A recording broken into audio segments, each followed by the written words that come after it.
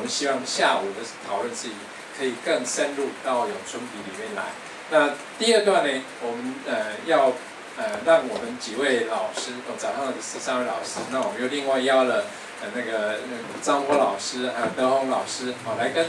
刚刚早上的呃三位呃女讲女团者来谈谈看，你咏春皮这个怎样的一个设计的概念，在都市里面的功能是什么啊？那，